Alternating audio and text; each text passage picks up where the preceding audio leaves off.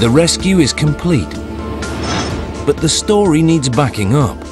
Along with independent research, Jackie and Christine present their findings to Chris and Amanda to see what matches up.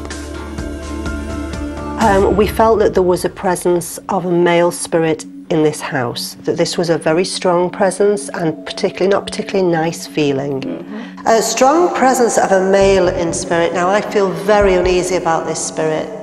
Um, we also felt that we were being followed, being chased, being watched.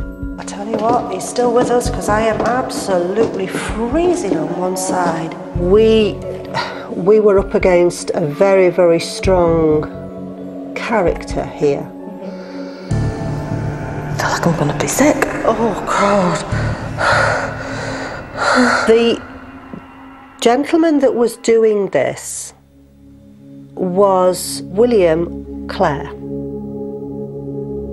The Clare family originally owned this land and built a log cabin on it in 1828. This land here was owned by William. Okay. This, this was his land. In 1852, William's father John died suddenly, and at the age of 13 he became responsible for his mother, five sisters, and the family farm. I've just got a, an image now of farmland. Adjacent to the farm, William Clare built a house on this land for his remaining family. He died there in 1913. So there we go, that's the house. That's the original house. And this is, so it was in this spot when he tore down the log? The house was roughly here, yes. Why, why would he want to go near the kids? Do the kids have certain no, energies? it's not a case or? of him wanting to go near the children. It's a case of him trying to get attention so that you would bring someone like, like us in.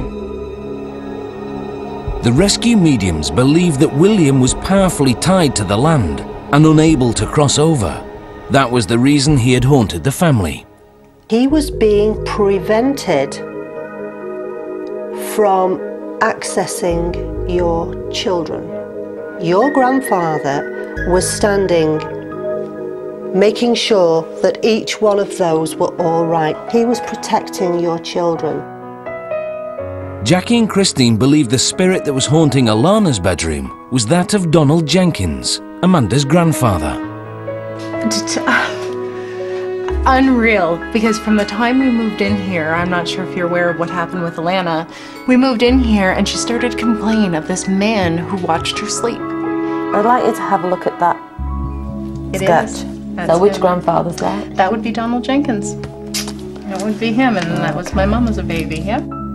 This photo of Donald Jenkins bears a similarity to this psychic drawing, made weeks earlier by the rescue mediums.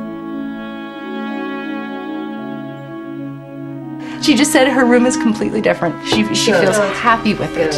Yeah, I don't know if it's part of her imagination that's lending to that, but I certainly know that she is loving her room now. And Oh, that's, that's and that's, great. that was one of the main reasons that's why. That's what we I was very open to this. So That's what we aim to do.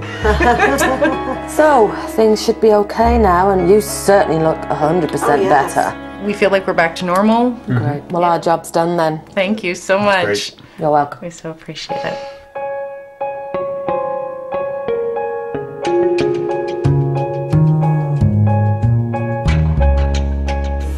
Jackie and Christine bid farewell. Ooh, Wow, it's a cold, cold night. Thank you so much. you are so welcome. thank you very much. Thank you. we really do you. appreciate it. Keep You guys Thank you. do wonderful work. Thank you. You're welcome. Now we'll enjoy your house. We will. Yeah. Yeah. Say goodbye to the children, Paul. Thank you. Bye.